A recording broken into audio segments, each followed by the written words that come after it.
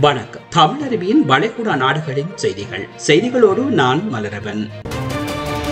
ஐக்கிய அரபு அமீரகத்தின் நேற்றைய நிலவரப்படி புதிதாக ஆயிரத்தி அறுபத்தி நான்கு பேருக்கு கொரோனா இருப்பது உறுதி செய்யப்பட்டுள்ளதாக சுகாதார அமைச்சகம் தெரிவித்துள்ளது. இதன் மூலம் கொரோனா பாதித்தவர்களின் மொத்த எண்ணிக்கையானது ஒரு லட்சத்தி ஏழாயிரத்தி இருநூற்றி தொண்ணூற்றி மூன்றாக உயர்ந்துள்ளது. கொரோனாவிற்கு ஒருவர் உயிரிழந்ததால் உயிரிழந்தோரின் எண்ணிக்கை நானூற்றி நாற்பத்தி ஆறாக அதிகரித்துள்ளது. மேலும் நேற்றைய நாளில் மட்டும் ஆயிரத்தி இருநூற்றி எழுபத்தொரு பேர் குணமடைந்துள்ளதாகவும் இதுவரையில் தொண்ணூற்றி எட்டாயிரத்தி ஐநூற்றி ஐம்பத்தி ஐந்து பேர் கொரோனாவால் பாதிக்கப்பட்டு முழுவதுமாக குணமடைந்துள்ளனர் என்பது குறிப்பிடத்தக்கது.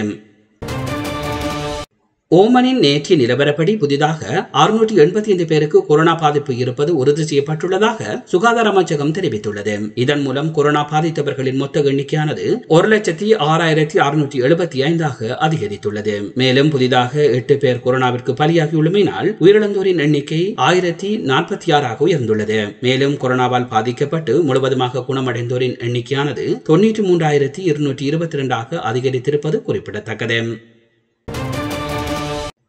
வந்தே பாரத் திட்டத்தின் மூலம் அமீரகத்தில் இருந்து இந்தியாவிற்கு விமானங்கள் இயக்கப்பட்டு வரும் நிலையில் எதிர்வரும் அக்டோபர் இருபத்தி ஐந்து முதல் இந்தியாவிற்கு இயக்கப்படும் விமானங்களுக்கு முன்பதிவு செய்து கொள்ளலாம் என அமீரகத்தில் உள்ள இந்திய துணை தூதுவரகம் தனது ட்விட்டர் பக்கத்தில் அறிவித்துள்ளது. தூதுவரகம் வெளியிட்டுள்ள அறிவிப்பில் துபாயில் இருந்து இந்தியாவின் பல்வேறு நகரங்களுக்கு ஏஆர் இந்தியா விமானங்கள் இயக்கப்படுவதாக தெரிவிக்கப்பட்டுள்ளது. அந்த அட்டவணையில் துபாயில் இருந்து சென்னை மதுரை மற்றும் திருச்சிக்கு செல்லும் விமானங்களின் விவரங்களும் தெரிவிக்கப்பட்டுள்ளது. தற்பொழுது வெளியிடப்பட்டிருக்கும் அறிவிப்பில் அக்டோபர் நவம்பர் மற்றும் டிசம்பர் டிசம்பர் ஆகிய மூன்று மாதங்களுக்கு செல்லும் விமானங்கள் தெரிவிக்கப்பட்டிருப்பதால் இந்தியாவில் சர்வதேச விமான போக்குவரத்து இந்த ஆண்டு இறுதி வரையிலும் மீண்டும் ஆரம்பிக்கப்படாதோ என்ற கேள்வி அனைவருக்கும் எழுந்துள்ளது. எனினும் தற்பொழுது வெளியிடப்பட்டிருக்கும் அட்டவணையில் இந்த மூன்று மாதங்களுக்கு சென்னைக்கு ஒன்பது விமானங்களும் மதுரைக்கு ஏழு விமானங்களும் திருச்சிக்கு இரு விமானங்களும் ஏஆர் இந்திய விமான நிறுவனம் மூலம் இயக்கப்படும் என்பது தெரிவிக்கப்பட்டுள்ளது. எனவே இந்த குறிப்பிட்ட விமானங்களுக்கு மட்டுமே தற்பொழுது பயணிகள் முன்பதிவு செய்து கொள்ள முடியும் என்பது குறிப்பிடத்தக்கது.